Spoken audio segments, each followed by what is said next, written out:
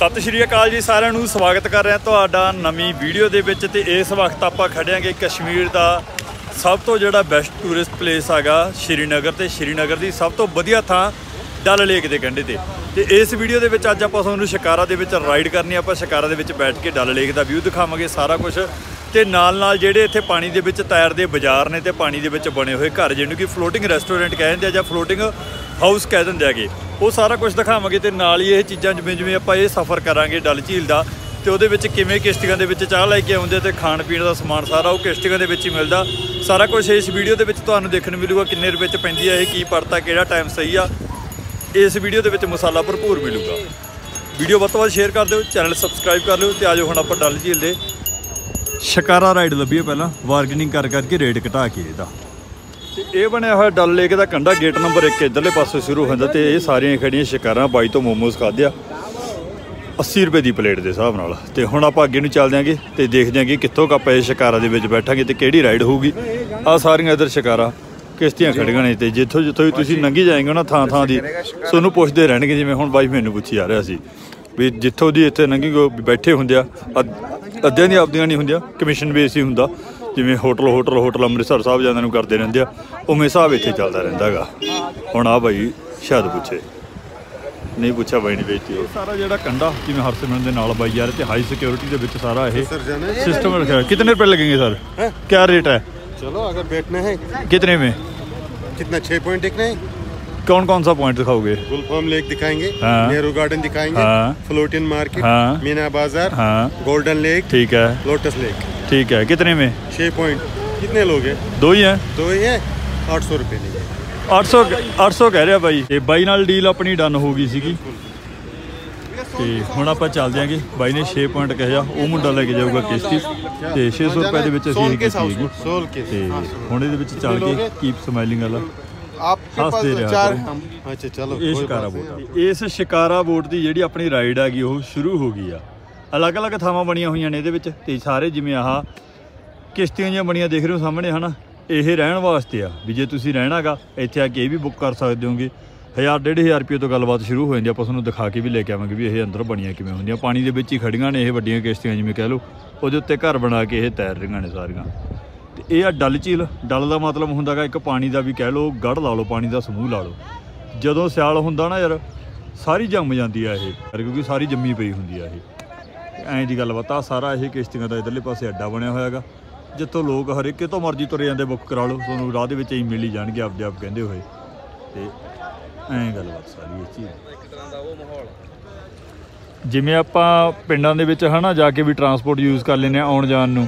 ਪਰ ਇਹ ਇੱਥੇ ਕਿਸ਼ਤੀਆਂ ਯੂਜ਼ ਕਰਦੇ ਆ ਕਿਆ ਲੈ ਕੇ ਆਏ ਹੋ कहवा है कॉफी है हॉट चॉकलेट है चॉकलेट कॉफी है ਠੀਕ ਹੈ यहाँ की फेमस टी कश्मीरी केसर का ਅੱਛਾ ठहर के जी जी ਹਾਂ ਹਜੇ ਅੱਗ- ਅੱਗੇ ਜਾ ਕੇ ਪੀਵਾਂਗੇ ਨਾ ਨਾ ਅੱਗੇ ਚੱਲ ਕੇ ਪੀ ਲੈਨੇ ਆ यहाँ की फेमस टी ਤੇ ਆਏ ਆ ਵੀ ਰਾਹ ਦੇ ਵਿੱਚ ਜੇ ਤੁਸੀਂ ਕੁਝ ਖਾਣਾ ਪੀਣਾ ਵੀ ਹੈ ਨਾ ਇੱਥੇ ਸਾਰਾ ਕੁਝ ਕਿਸ਼ਤੀਆਂ ਦੇ ਵਿੱਚ ਹੀ ਸਪਲਾਈ ਕਰਦੇ ਆ ਇਹ ਆ ਚਾਹ ਆ ਗਈ ਤੇ ਕਾਵਾ ਗੂਵਾ ਆ ਗਿਆ ਸਾਰਾ ਕੁਝ ਐ ਆ ਲੋਕ ਹੁਣ ਇੱਧਰ ਇੱਕ ਹੋਰ ਬਾਈ ਚਾਹ ਵਾਲੀ ਢ- ਢੋਲੀ ਧਰੀ ਆਉਂਦਾ ਖਾਸੀ ਗੱਲਬਾਤ ਤਕੜੀ ਕੀਤੀ ਹੋਈ ਹੈ ਤੇ ਲੋਕ ਜਿਹੜੀ ਆਪਦੇ ਆਉਣ ਜਾਣ ਵਾਸਤੇ ਵੀ ਸਾਰਾ ਕੁਝ ਉਹ ਇੱਧਰ ਵੀ ਜਿੰਨੇ ਵੀ ਸਾਰੇ ਹੈਗੇ ਆ ਹਨਾ ਆ ਲੋਕਾਂ ਨੇ ਘਰ ਕੋਰ ਲੈ ਰੱਖਿਆ ਤੇ ਨਾਲ ਜਿਵੇਂ ਬਾਹਰੇ ਗਾਰਡਨ ਬਣਾਇਆ ਹੁੰਦਾ ਬੈਠਣ ਨੂੰ ਉਵੇਂ ਸਾਰਾ ਕੁਝ ਬਣਾ ਕੇ ਰੱਖਿਆ ਹੋਇਆ ਵੀ ਲੋਕ ਆਪਦਾ ਬਾਹਰੇ ਬਹਿ ਕੇ ਭਾਈ ਇਹ ਰੌਣਕ ਦੇ ਮੇਲੇ ਦਾ ਇੰਜੋਏ ਕਰਦੇ ਕਾਵਾ ਕਰਵਾਤਾ है भाई हाँ कावा क्या चीज होती है क्या होता है कावा में इलायची दालचीन ਮੈਂ ਤਾਂ ਪੀਤਾ ਨਹੀਂ ਕਦੇ ਦੇਖੀ ਯਾਰ सब्जिस्तान अच्छा आगे पाया बच्चे दे ਇਹ ਕੀ ਹੈ? ਹੌਟ ਚੌਕੀਆਂ ਨਹੀਂ ਯਾਰ ਉਹੀ ਦੇ ਹਾਂ?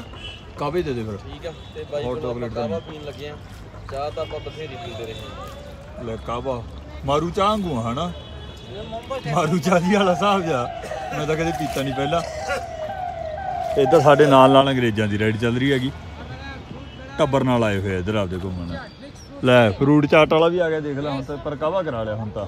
ਵਧੀਆ ਯਾਰ। لا بيرة يا ركابة لا مرة بيرة next لا tomorrow okay okay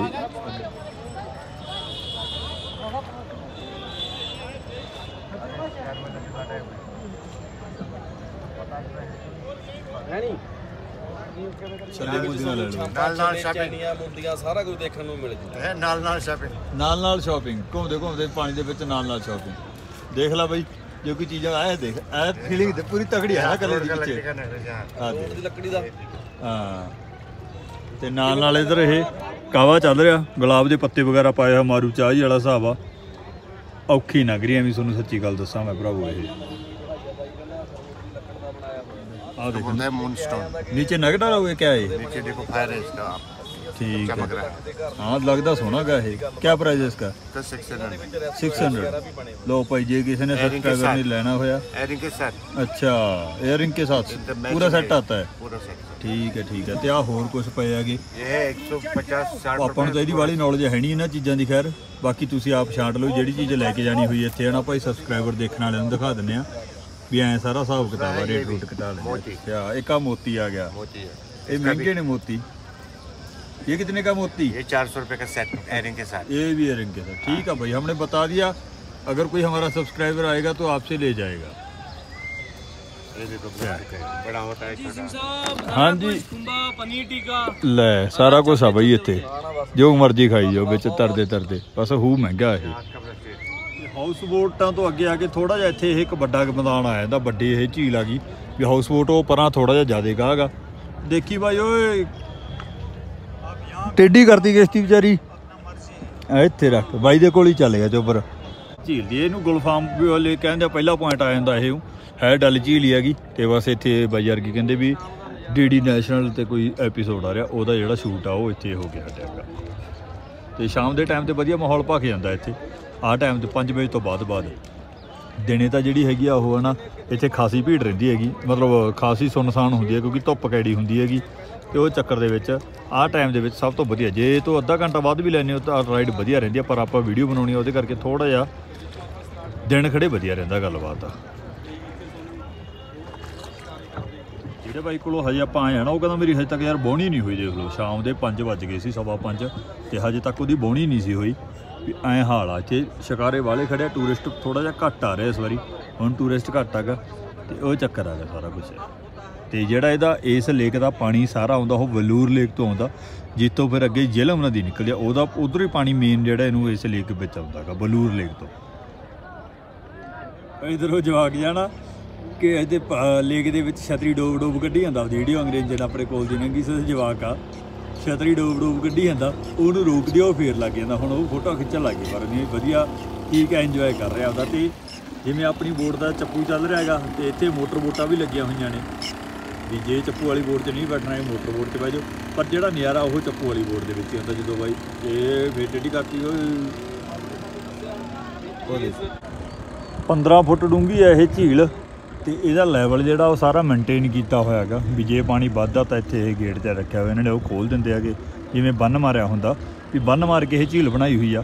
ਜਦੋਂ ਗੇਟ ਪਾਣੀ ਵੱਧਦਾ ਤਾਂ ਉਹਦਾ ਗੇਟ ਖੋਲ ਕੇ ਪਾਣੀ ਕੱਢ ਦਿੰਦੇ ਹੈਗੇ ਤੇ ਇਹਦਾ ਲੈਵਲ ਮੇਨਟੇਨ ਰੱਖਦੇ ਕਿਉਂਕਿ ਜਿਹੜੇ ਆ ਘਰ ਵੀ ਆ ਸਾਹਮਣੇ ਨਾ ਕਰੋੜਾਂ ਦੀ ਕੀਮਤ ਦੇ ਘਰ ਬਣੇ ਹੋਏ ਆ ਇਹ।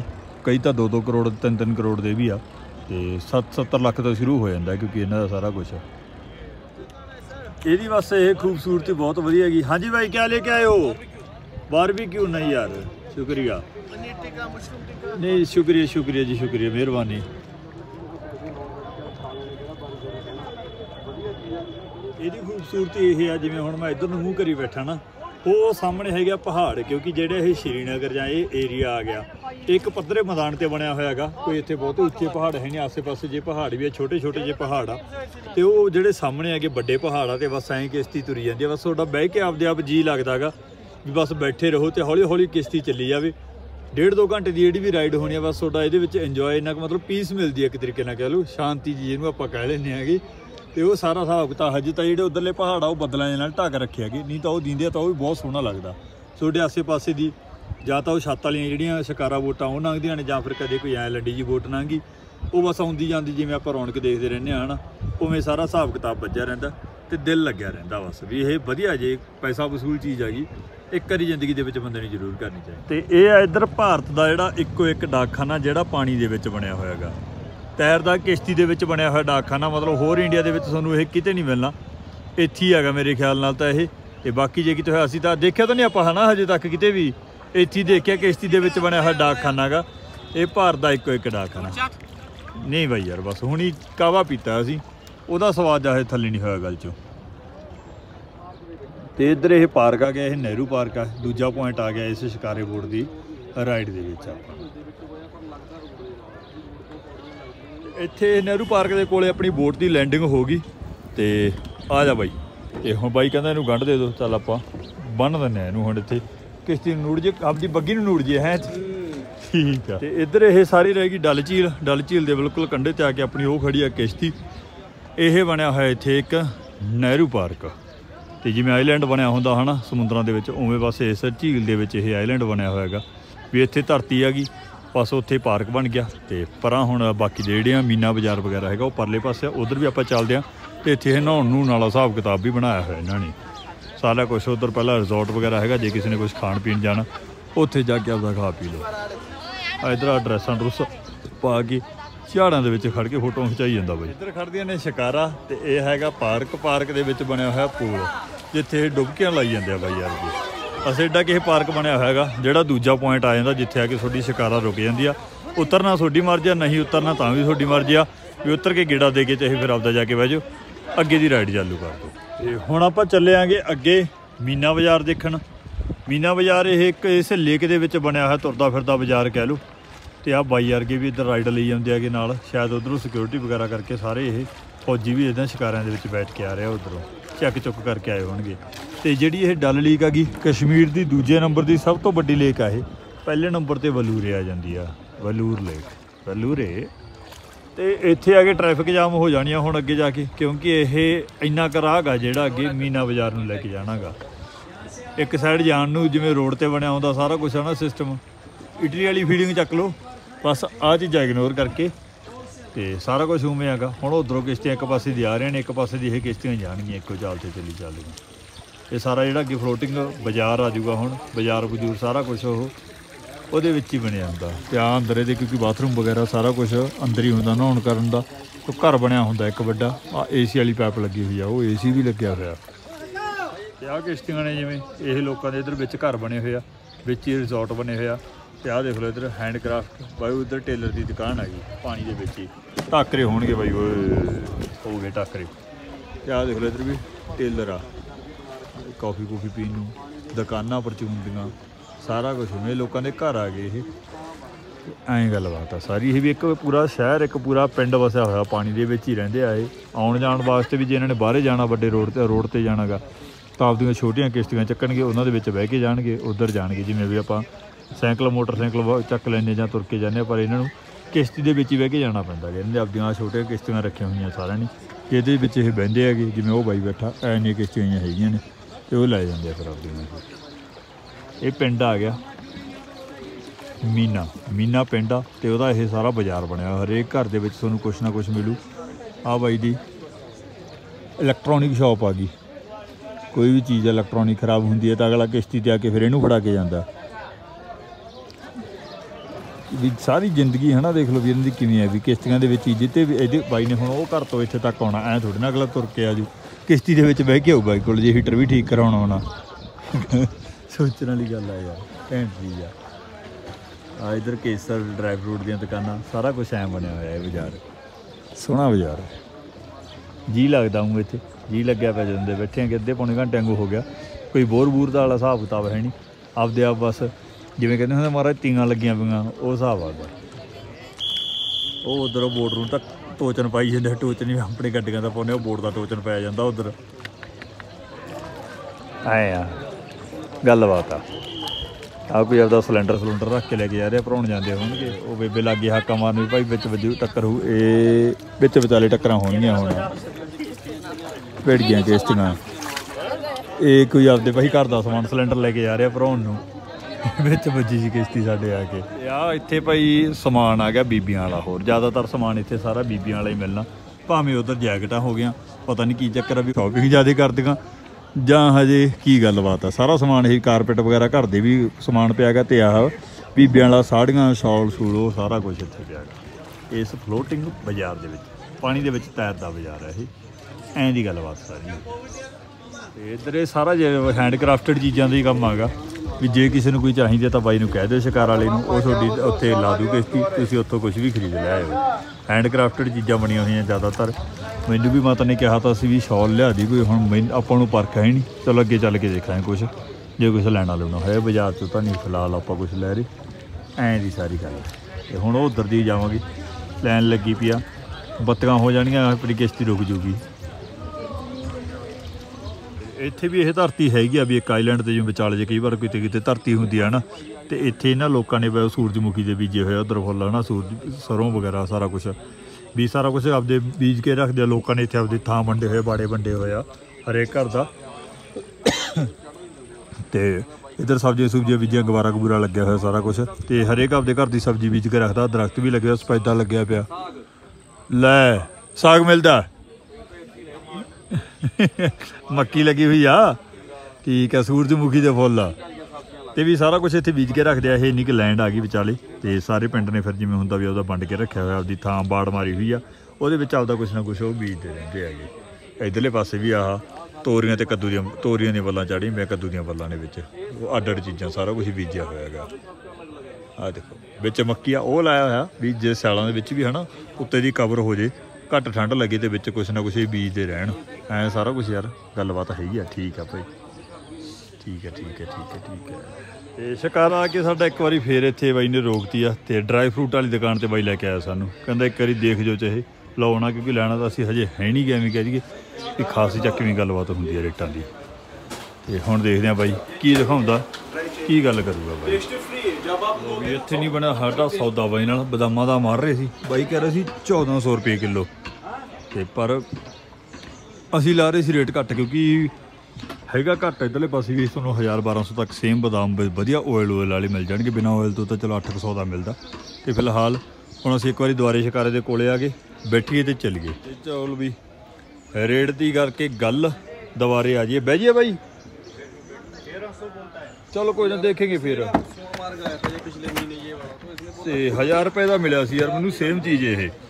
ਤੇ ਤੇਲ ਨਿਕਲਿਆ ਸੀ ਊਂ ਬਦਾਮ ਵਧੀਆ ਸੀ ਬਦਾਮਾਂ ਦਾ ਗੱਲ ਠੀਕ ਹੋਇਆ ਤਾਂ ਸਾਰਾ ਮੀਨਾ ਬਾਜ਼ਾਰ ਦੇਖ ਕੇ ਹੁਣ ਇਹਦੇ ਚੋਂ ਬਾਹਰ ਨਿਕਲ ਰਹੇ ਆ।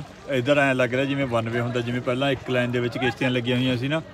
ਇਧਰ ਹੁਣ ਬਰਾਬਰ ਬਰਾਬਰੀ ਚੱਲੀ ਜਾਂਦਾ ਕੰਮ। ਤੇ ਸਾਰਾ ਆਸੇ-ਪਾਸੇ ਫਿਰ ਉਹੀ ਚੀਜ਼ਾਂ ਸਾਰੀਆਂ, ਸ਼ੌਲ, ਸ਼ੂਲ ਹੈਂਡਕ੍ਰਾਫਟ ਚੀਜ਼ਾਂ ਚੱਲੀਆਂ ਹੋਈਆਂ ਨੇ ਜ਼ਿਆਦਾਤਰ। ਤੇ ਬੀਬੀਆਂ ਵਾਲਾ ਸਮਾਨ ਭਾਈ ਜਾਂਦੇ ਆ ਇੱਥੇ। ਆਪਣੇ ਵਾਲਾ ਕੋਈ ਹਿਸਾਬ ਕਿਤਾਬ ਹੈ ਨਹੀਂ ਗਾ ਇੱਥੇ ਮੁੰਡੇ ਛੋਡੇ ਵਾਲੀ ਕੋਈ ਗੱਲਬਾਤ ਹੈ ਨਹੀਂ ਤੁਸੀਂ ਬਸ ਬਹਿ ਕੇ ਇੱਥੇ ਆਪਦਾ ਨਜ਼ਾਰਾ ਲੈ ਕੇ ਜਾਓ। ਉਹ ਮੇਰੇ ਖਿਆਲ ਨਾਲ ਸਾਹਮਣੇ ਇੱਕ ਫੈਕਟਰੀ ਲੱਗੀ ਹੋਈ ਹੈ ਇਹਦੇ ਵਿੱਚ ਹੀ ਹੈਗੀ ਇਹ। ਪਤਾ ਨਹੀਂ ਘਰ ਜਾ ਕੋਈ। ਕੀ ਗੱਲ? ਉਧਰ ਉਹ ਦੁਕਾਨ ਆ ਗਈ ਇੱਧਰ ਬਣਦੀਆਂ ਸ਼ਿਕਾਰਾ ਸ਼ਿਕਾਰਾ ਫੈਕਟਰੀ ਲਿਖਿਆ ਹੋਇਆ। ਉੱਥੇ ਸ਼ਿਕਾਰਾ ਜਿਹੜੀਆਂ ਕਿਸ਼ਤੀਆਂ ਨੇ ਆਹ ਜਿਹੜੀਆਂ ਆਹ ਸਾਰੀਆਂ ਜਾਂਦੀਆਂ ਇਹਨਾਂ ਨੂੰ ਸ਼ਿਕਾਰਾ ਬੋਟ ਕਹਿ ਦਿੰਦੇ ਹੈਗੇ। ਤੇ ਪੂਰੀ ਟ੍ਰੈਫਿਕ ਹੋ ਗਈ ਲੈ ਵੀ ਦੋਨੇ ਪਾਸੇ ਕਿਸ਼ਤੀਆਂ ਨਾਲ ਘਿਰ ਗਿਆ ਹੁਣ ਮੈਂ ਹਮਲਾ ਹੋ ਗਿਆ ਬੱਬੂ ਤੇ ਜੈਮੋ ਗੇਮੀ ਦਾ ਮਾਹੌਲ ਹੋਇਆ ਪਿਆ। ਟ੍ਰੈਫਿਕ ਟ੍ਰੈਫਿਕ ਟ੍ਰੈਫਿਕ ਹੋ ਗਈ, ਟ੍ਰੈਫਿਕ ਹੋ ਗਈ।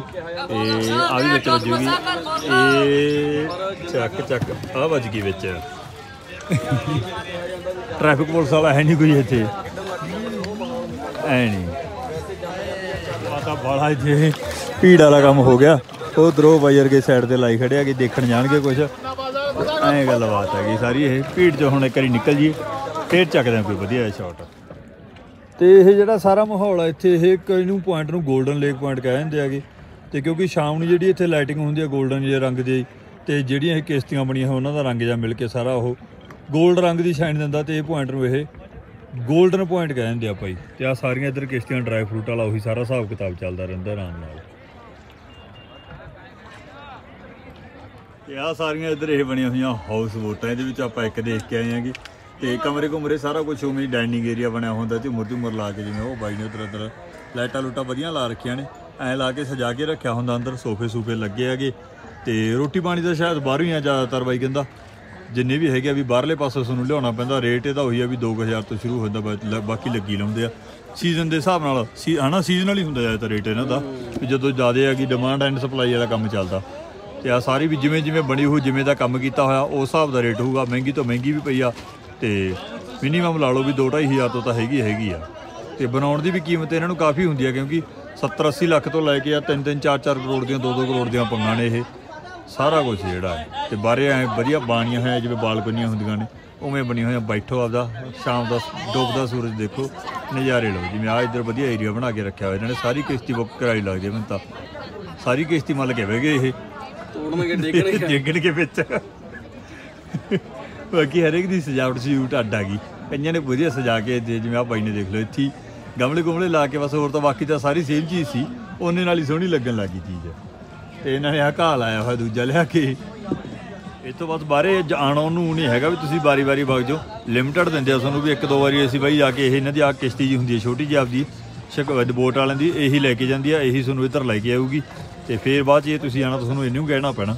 ਐ ਨਹੀਂ ਹੈਗਾ ਪਪੜਾ ਕਿਤੇ ਤੁਰ ਕੇ ਵਗ ਜਾਾਂਗੇ ਤੇ ਉਹ ਪਿੱਛੇ ਤੁਹਾਨੂੰ ਦਿਖ ਰਹੀ ਹੋਣੀ ਆ, ਇੱਧਰ ਇਹ ਪਿੰਡ ਦੀ ਮਸਜਿਦ ਬਣੀ ਹੋਈ ਆ, ਮਸਜਿਦ ਹੈਗੀ ਹੈ ਨਾ, ਤੇ ਬਾਕੀ ਆ ਲੋਕਾਂ ਨੇ ਆਪਦੇ ਰਹਿਣ ਨੂੰ, ਘਰ ਘਰ, ਵੀ ਇੱਕ ਪੂਰਾ ਪਿੰਡ ਵਸਿਆ ਹੋਇਆ ਸਾਰਾ ਇਹ, ਜਿੱਥੇ ਸਾਰੀ ਗੱਲਬਾਤ ਇਹ ਹੁੰਦੀ ਹੈ ਤੇ ਆ ਲੋਕਾਂ ਨੇ ਆਪਦੇ ਭਾਈ ਕਿਸੇ ਨੇ ਪਰਮਿਸ਼ਨ ਲੈ ਕੇ ਖਾਸੀ ਤਕੜੀ ਪਰਮਿਸ਼ਨ ਕਹਿੰਦੇ ਲੱਗਦੀ ਹੈ ਇਹਨਾਂ ਨੂੰ ਬਣਾਉਣ ਵਾਸਤੇ ਹਾਊਸ ਬੋਟਾਂ ਨੂੰ ਜੇ ਕਿਸੇ ਨੇ ਬਣਾਉਣਾ ਤੇ ਐਸਟੀਡੀ ਵੀ ਹੈਗੀ ਆ ਦੇਖ ਲਓ ਐਸਟੀਡੀ ਪੀਸੀਓ ਪੁਰਾਣੇ ਟਾਈਮ ਵਾਲੇ ਹਿਸਾਬ ਨਾਲ ਇੱਥੇ ਹੁੰਦਾ ਹੋਊਗਾ ਉਹ ਟਾਈਮ ਦੇ ਵਿੱਚ ਹਨਾ ਕਿਸ਼ਤੀ ਆ ਕੇ ਫੇਰ ਇੱਕ ਵਾਰੀ ਸੜਕ ਦੇ ਕੰਢੇ ਦੇ ਨਾਲ ਲੱਗ ਗਈ। ਯਾਨੀ ਕਿ ਵੀ ਜਿਹੜੇ ਅੱਜ ਦੀ ਰਾਈਡ ਸੀਗੀ, ਇਹ ਕਿਸ਼ਤੀ ਦੀ ਉਹ ਖਤਮ ਹੋ ਗਈ ਆ। ਸਾਰਾ ਕੁਝ ਇਹਦੇ ਵਿੱਚ ਬਸ ਪਿੰਡ ਦੇਖਣ ਵਾਲਾ ਸੀਗਾ ਤੇ ਬਾਕੀ ਆ ਹਾਊਸ ਬੋਟਾਂ ਦੀ ਗੱਲਬਾਤ ਹੁੰਦੀ ਹੈ ਵੀ ਜੇ ਤੁਸੀਂ ਇੱਥੇ ਰਹਿਣਾ, ਇੱਥੇ ਰਹਿ ਲਓ, ਨਹੀਂ ਬਾਹਰੇ ਰਹਿਣਾ ਤਾਂ ਬਾਹਰੇ ਤੁਹਾਡੀ ਮਰਜ਼ੀ ਹੈਗੀ ਅੱਡ ਅੱਡ ਬਣੇ ਹੋਏ ਅੱਡ ਅੱਡ ਰੇਟਾਂ ਤੇ ਹੈਗੀਆਂ। ਮੀਨਾ ਬਾਜ਼ਾਰ ਦੇ ਵਿੱਚ ਬੀਬੀਆਂ ਵਾਲਾ ਸਮਾਨ ਜ਼ਿਆਦਾ ਆ ਤੇ ਹੁਣ ਇੱਕ ਵਾਰੀ ਇੱਥੇ ਉਤਰਦੇ ਹਾਂ ਆਪਾਂ ਪਹਿਲਾਂ।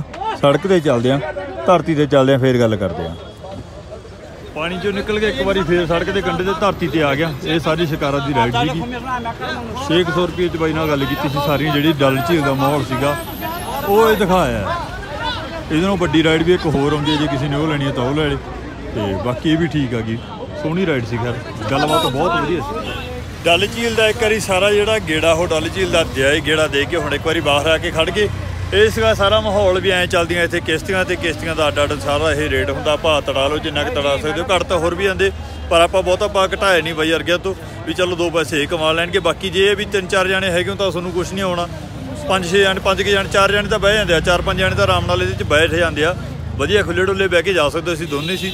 ਦੋਨੇ ਗਏ ਆ, ਦੋਨੇ ਆਏ ਆ, ਤੇ ਐਂ ਦਾ ਸਾਰਾ ਹਿਸਾਬ ਕਿਤਾਬ ਸੀ, ਜੇ ਹਾਊਸ ਬੋਟ ਦੇ ਵਿੱਚ ਰਹਿਣਾ ਤਾਂ ਉੱਥੇ ਰਹਿ ਲਓ, ਬਾਹਰੇ ਰਹਿਣਾ ਤਾਂ ਬਾਹਰੇ, ਤੁਹਾਡੀ ਮਰਜ਼ੀ 1000 ਰੁਪਏ ਤੋਂ ਬਾਹਰੇ ਵੀ ਤੁਹਾਨੂੰ ਕਮਰਾ ਆਰਾਮ ਦੇ ਨਾਲ ਮਿਲ ਜੂਗਾ। ਹੁਣ ਮਿਲਾਂਗੇ ਨਵੀਂ ਵੀਡੀਓ ਦੇ ਨਾਲ। ਕੱਲ ਸਬਸਕ੍ਰਾਈਬ ਕਰ ਲਿਓ ਸ਼ੇਅਰ ਕਰ ਦਿਓ। ਸਤਿ ਸ਼੍ਰੀ ਅਕਾਲ ਜੀ ਸਾਰਿਆਂ ਨੂੰ। ਉਹ ਵੀਡੀਓ ਮੈਂ ਖਤਮ ਕਰਤੀ ਸੀ ਐਂਡ ਤੇ ਇੱਕ ਚੀਜ਼ ਦਿਖਾ ਦਿੰਨਾ। ਇਹ ਹੈਗਾ ਇੱਥੋਂ ਦਾ ਲਾਲ ਚੌਂਕ ਬਾਜ਼ਾਰ। ਸਭ ਤੋਂ ਮਸ਼ਹੂਰ ਜਗ੍ਹਾ ਕੀ ਹੈ ਇੱਥੇ ਦੀ ਬਾਜ਼ਾਰਾਂ ਦੇ ਵਿੱਚੋਂ? ਲਾਲ ਚੌਂਕ ਬਾਜ਼ਾਰ ਕਹਿੰਦੇ ਆ ਇਹਨੂੰ। ਸ਼ਾਮ ਦਾ ਰੌਣਕ ਮੇਲਾ ਆ ਵੀਊ